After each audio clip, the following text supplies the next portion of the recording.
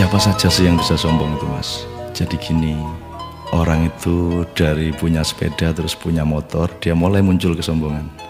Dari punya motor menjadi punya mobil, tambah lagi kesombongan. Jadi dia terancam sebenarnya oleh kelemahan jiwa. Jadi setiap akses yang naik, akses yang berkembang itu resikonya karena dia harus diwadai oleh jiwa manusia yang lemah, maka eksesnya adalah kesombongan itu, keangkuhan. Jadi singkat kata, makin kita kaya, makin terancam untuk hancur oleh kesombongan. Dan ini bukan hanya soal kaya, makin pinter juga biasanya makin sombong mas. Jadi ada yang namanya kesombongan feodal itu untuk orang-orang kaya.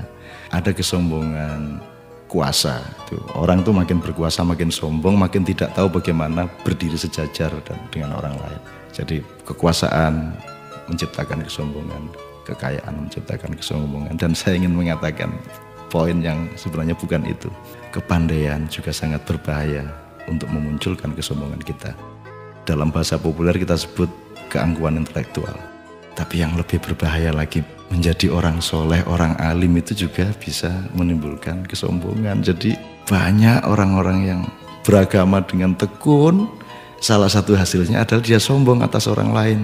Diam-diam selalu merasa lebih hebat dari orang lain, lebih masuk surga daripada orang lain, lebih diterima Allah oleh orang lain. Jadi teman-teman sekalian, sesungguhnya ajaran yang paling dahsyat keindahannya adalah ajaran mengenai tawadhu, ajaran mengenai kerendahan hati.